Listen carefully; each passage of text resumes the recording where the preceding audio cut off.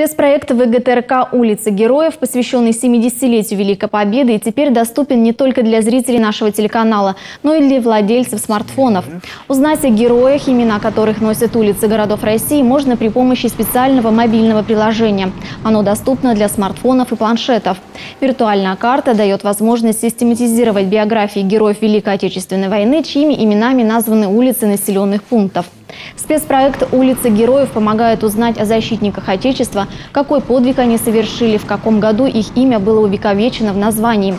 Напомним, что сюжеты, посвященные этой теме, еженедельно идут и в эфире ГТРК «Вятка» в программе «Доброе утро».